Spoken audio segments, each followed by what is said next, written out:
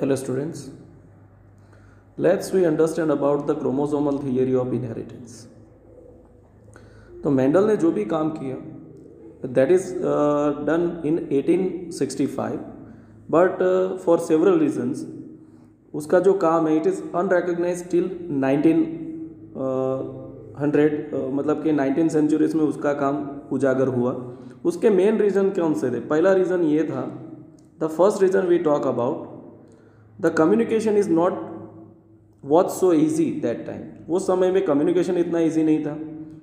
And जो jeans का concept है this is newer in a science in a we talk about in a biological science it's nothing but it's just for newer concept over there कि भाई जो genes concept है it's a totally new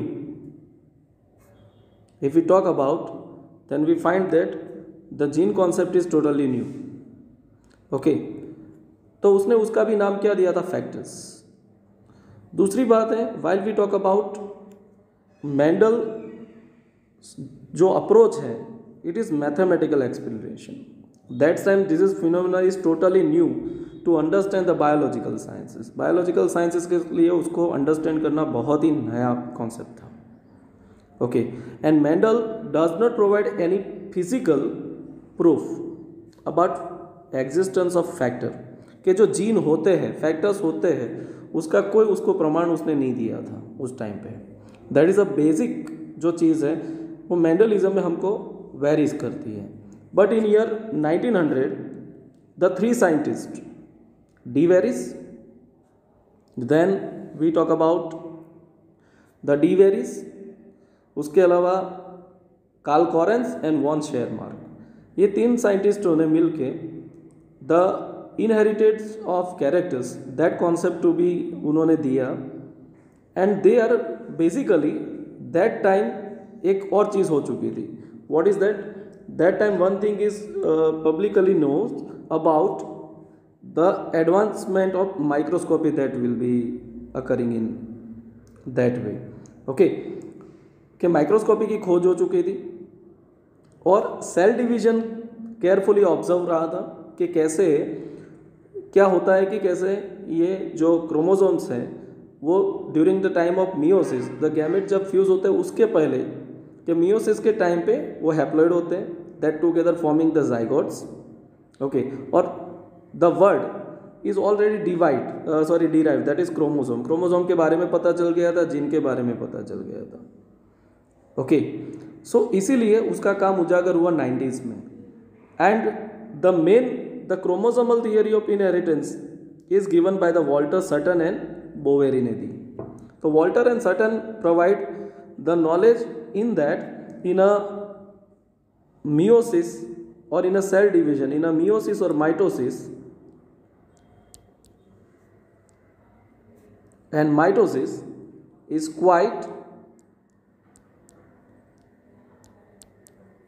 known जिसके बदले जो भी factors थे, वो वर्ड कौन सा आ गया? This word is comes with nothing but of chromosomes तो क्रोमोसोम क्या होते हैं? सेल डिवीज़न के टाइम पे वी ऑलरेडी नो कि वो डिवाइड होते हैं इक्वल में चले जाते हैं माइटोसिस में मियोसिस में हैप्लॉइड होते हैं। हैप्लॉइड फिर मिलके जाइगोट कैरी करते हैं। Haploid plus haploid provide the zygotes the two N that is zygote okay and zygote can be equally major the number of that इसके अलावा थॉमस वन हट मॉर्गन का, जिसको मॉर्गनिज्म भी कहते हैं, जैसे मैंडलिज्म फॉर प्लांट्स है, वैसे ही मॉर्गनिज्म फॉर एनिमल्स है। उसने सबसे पहले क्रोमोसोमल थियरी को एम्फेसाइज किया, उसके बाद उन्होंने क्रॉसिंग ओवर को एम्फेसाइज किया, और उसके साथ क्रॉसिंग ओवर के साथ साथ जो होमोजाइगोसिटी या तो हिटोजाइगोसिटी है that based on theory also provide by the Thomas one Hunt Morgan let's we understand about the chromosomal theory यहाँ पर है।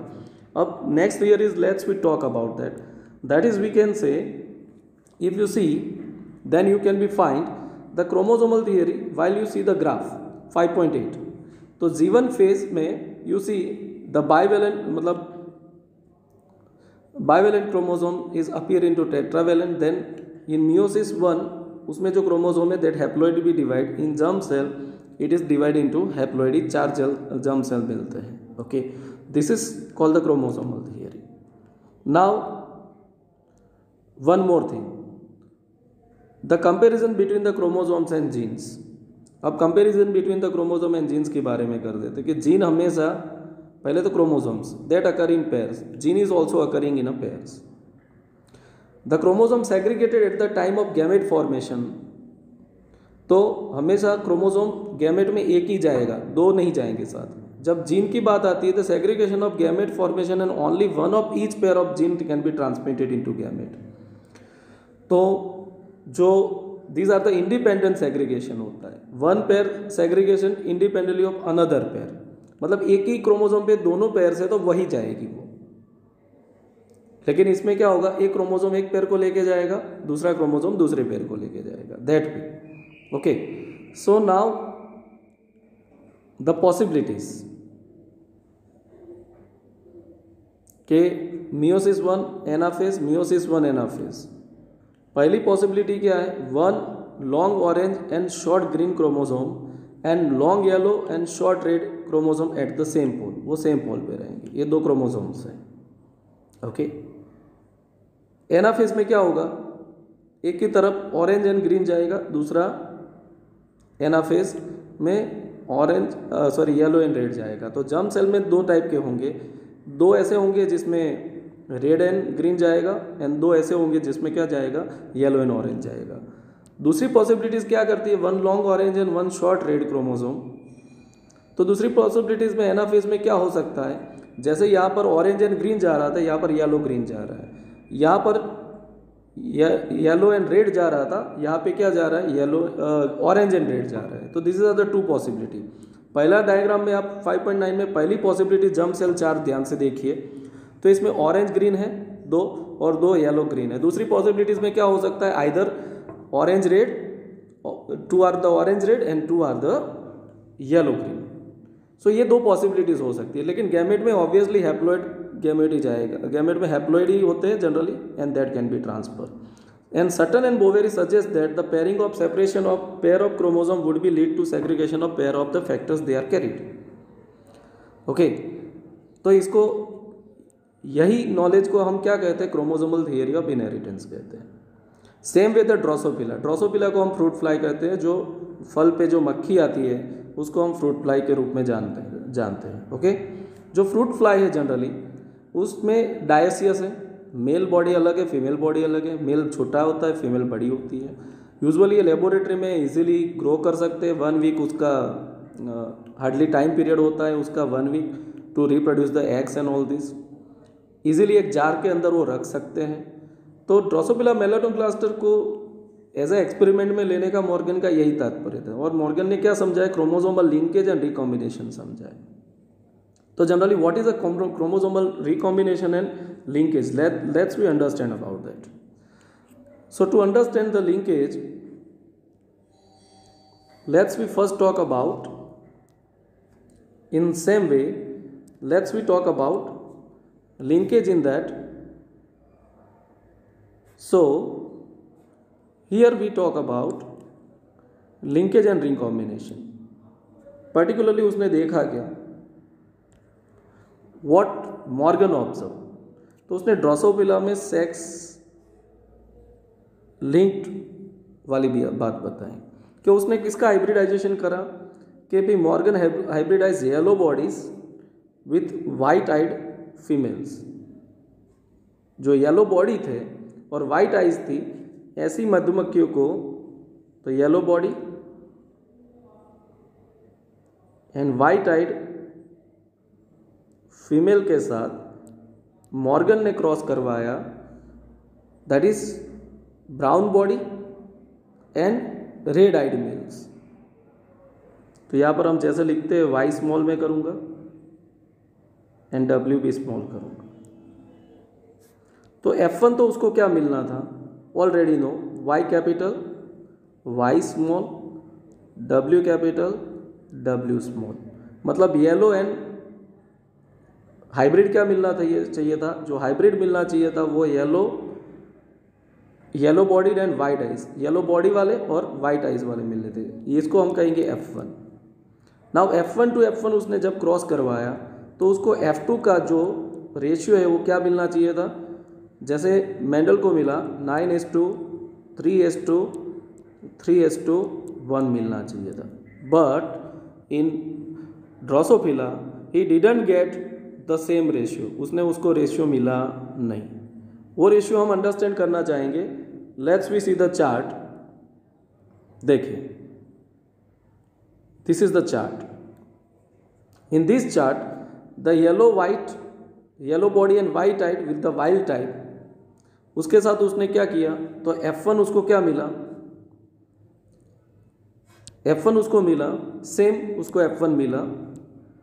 That is nothing but wild type and yellow wild okay क्योंकि wild उसको ये मिला और उसका उन्होंने कॉम्बिनेशन किया तो देखो क्वाइट रेशियो डिफरेंट है। कि जो पेरेंट वाले हैं, वो उसको 98.7 परसेंट मिले एंड रिकॉम्बिनेट उसको 1.3 परसेंट मिले। लेकिन इसमें भी एक ट्विस्ट है। While we talk about the here let's we talk about इसको हम एक्सप्लेनेशन में डालेंगे। Let's we explain it while we are explaining that one, then you will be see. You will be find that जो यहाँ पर gene देख रहे हो आप, वो एकदम लूज टाइटली अरेंज है। यहाँ पर जीन देखो, वो loosely arrange just because of that here you get the parental form that is in 98.7 percent and जो रिकम्बिनेंट जो नए रिकम्बिनेशन होते हैं that you getting 1.3 percent but यहाँ पर आप देखिए तो पेरेंट 62.8 परसेंट है and recombinant one is 37.2 percent है. मतलब यहाँ पर रिकॉम्बिनेशन रेशियो क्या है? ज़्यादा है पेरेंटल रेशियो कम है एज कंपेयर टू और क्वाइट डिफरेंट लेवल है, जो nine is to three is to three is to three था थ्री एस टू वन था, उससे तो क्वाइट डिफरेंट है। ओके सो इस, इसको फिर से समझ लेते हैं. So let's we talk about that कि देखो, उसने क्या किया? कि येलो वाइट जो क्लोजली रिलेटेड जीन है, उसको वाइल्ड टाइप से किया. तो मेल में फीमेल में क्या आएगा? एक येलो वाला और एक वाइल्ड वाला. तो वाइल्ड टाइप मिलेगा. और मेल में क्या मिलेगा? एक येलो वाला और एक वाइल्ड वाला वाई होगा. तो उसमें येलो वाइट मिलेगा। अब इसके बीच में उसने सेल्फ फर्टिलाइजेशन कराई। तो सेल्फ फर्टिलाइजेशन में क्या चांसेस रहे थे? फॉर एग्ज़ाम्पल पहले फीमेल की पहले मेल की बात कर लेते हैं। So Y and W goes to the male तो that will be becomes yellow white Y plus W plus with Y that gives the parental one लेकिन कम्बिनेशन 1.3 परसेंट मिलेगा, जिसमें वाइट अकेला मिलेगा तो वाई प्लस जो क्रॉसिंग ओवर की वजह से होता है। ओके ये कॉम्बिनेशन क्यों मिले? Crossing over generally crossing over के बारे में कोई डेफिनेशन मैंडल ने नहीं दी थी। बट यहाँ पर और एक गौर करने जैसी बात है कि जब जीन लूजली अरेंज होते हैं, जैसे डब्ल्यू एम का बीच की जगह आपको दिखाई गई है और वाई डब्ल्यू की दिखाई गई है। तो जिसमें जीन लूजली अरेंज होते हैं, उसमें क्रॉसिंग ओवर का रेशियो भी हाई होता है, जिसकी बदौलत जो पेरेंटल टाइप है, वो 62.8 परसेंट है और जहाँ पर टाइटली अरेंज जीन्स है, उस पर क्रॉसिंग ओवर कम होता है तो 98.7 परसेंट टोटली पेरेंट जैसे मिलते हैं। ओके और रिकम्बिनेंट यहाँ पे देखें तो यहाँ पर रिकमेंडेड का रेशियो जो पहले प्रैक्टिकल में कम है, दूसरे प्रैक्टिकल में बहुत ही ज़्यादा, उसका रीज़न है कि जो जीन लूजली अरेंज होते हैं, जिसमें क्रॉसिंग ओवर ज़्यादा होते हैं चाइज मेटा ज़्यादा फॉर्म होता है that's why they are forming much more they are having the much more crossing over में मच मोर क्रॉस्ड कैरेक्टर उसको क्रॉसिंग ओवर ज़्यादा होता है, इसलिए उसमें रिकॉम्बिनेट के रेशियो ज़्यादा होता है। So this is shows by the linkage and recombination by the mental okay so this result is to be suspected over there now let's be understand about the certain other topics now polygenic inheritance polygenic inheritance का मतलब होता है कि भाई that is shortly we can say polygenic inheritance means one that is one character many genes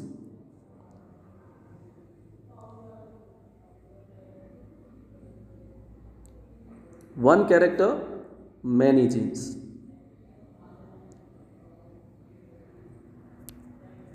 one character many genes that is called the polygenic inheritance polygenic inheritance में example की बात करते हैं humans we don't know just tall और short people are two distinct alternative but whole range of possible heights इसमें एक बात कर लेते हैं that is a main example we are talk about that is skin skin के अंदर हम देखें तो जैसे जीन पैर में होते हैं, लेकिन इसमें कितने जीन होते हैं? A A capital B B capital C C capital this is for black skin generally usually क्या होता है? ए ई होना चाहिए था फॉर ब्लैक स्किन लेकिन यहाँ पर three pairs of genes is responsible for black skin then A capital sorry A A small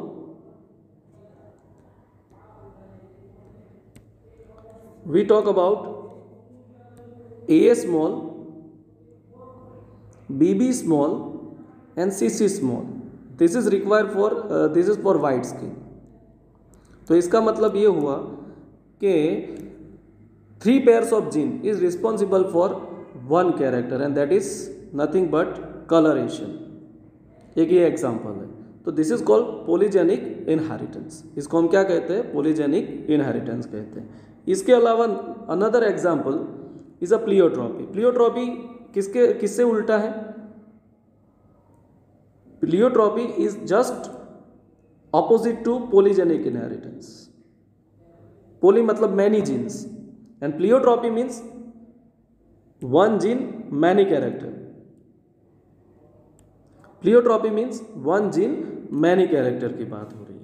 Okay so let's we talk about the example is phenylketonuria phenylketonuria usually एक ऐसा disease है, जिसमें actually six carbon पे ग्लूटे glutamic acid की जगह valine जब जुड़ता है तो पिन पॉइंट म्यूटेशन का एग्ज़ाम्पल है।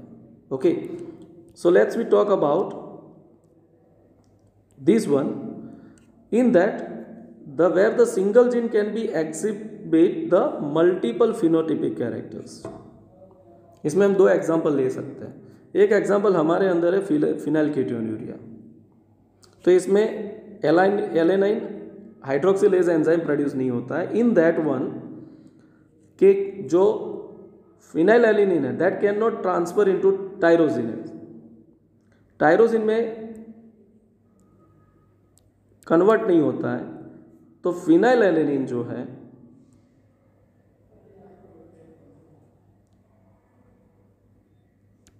that deposited into nothing but blood then in cerebrospinal fluid और उसमें जमा हो जाता है। उसकी वजह से क्या होता है that can be lead to not only mentally retardable इसके अलावा दिस कैन बी एक्सप्रेस उसका एक्सप्रेस एक्चुअली कहाँ पे होता है? मेंटली रिटार्डेशन पे होता है या तो उस पे होता है। लेकिन but it also other character like the reduce the hair in body skin pigmentation skin में पिगमेंट आना, वो भी उसके है। मतलब उसका एक कैरेक्टर किस पर इफ़ेक्ट करता है? मेंटली रिटार्डेशन पे। लेकिन वो also this gene is also effect into reproduction of in hair and skin pigmentation इसके अलावा एक अनदर एग्ज़ाम्पल है we talk about another example that is nothing but वो एग्ज़ाम्पल की जब हम बात करेंगे then we find the another example is about drosophila so drosophila में एक वेस्टिजियल विंग होता है। वेस्टिजियल विंग के लिए वेस्टिजियल विंग क्या होता है? The vestigial wing is a just eye के पीछे एक स्मॉल विंग्स होता है। तो this is called vestigial wings इसके जो जीन है this is affect on the bristles जो ब्रिसल्स होते हैं, उस पर इफ़ेक्ट करते हैं. Then it's effects on laying of eggs production of sperm and also जो बॉडी के मतलब वेस्टिजियल विंग के ब्रिसल्स पे इफ़ेक्ट करते हैं एक्स लेडिंग कैपेसिटी पर इफ़ेक्ट करते हैं एंड स्पम नंबर पे इफ़ेक्ट करते हैं। So this will be find in a Drosophila मतलब एक जीन बहुत सारे कैरेक्टर पर इफ़ेक्ट करता है। So that we already understand about that okay so this is called pleiotropic genes Now another topic is about sex determination. So let's we talk about sex determination तो sex determination के बारे में थोड़ी बात कर लेते हैं। Let's we talk about sex determination in that way तो सेक्स डिटर्मिनेशन में क्या होता है? कि जनरली सेक्स डिटर्मिनेशन में आफ्टर क्रोमोजोमल थियरी के लोगों का इंटरेस्ट भी रहा। To experiment carried out sex determination experiment can be first carried out in to insects. So, they can be also observed. The chromosomes are two types. One is autosomes and another one is sex chromosomes.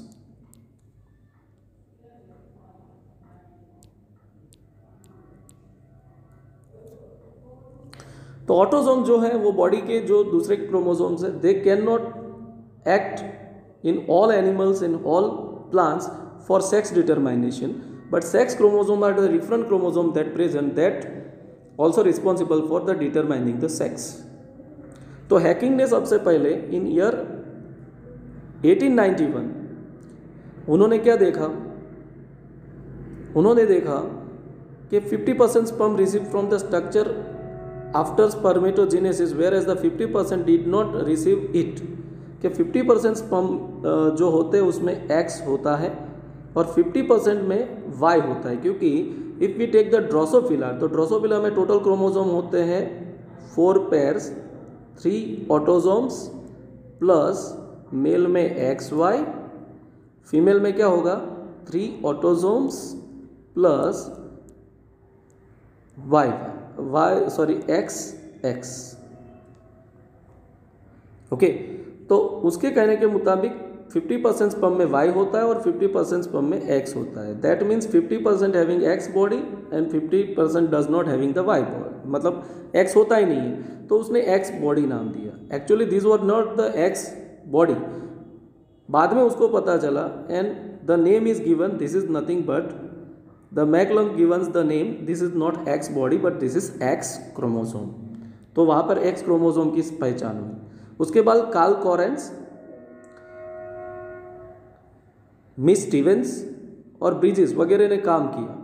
तो उसके system में हमको क्या पता चला these are the two type of chromosomes are present in generally animals this are the autosomes and sex chromosomes तो autosome को हमेशा हम क्या लिखते हैं? If we show the pair for example तो ह्यूमन में 23 पेयर्स ऑफ़ क्रोमोजोम है।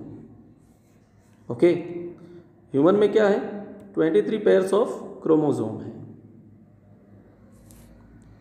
तो हम कैसे लिखेंगे उसको? How we can be write it will be write as 23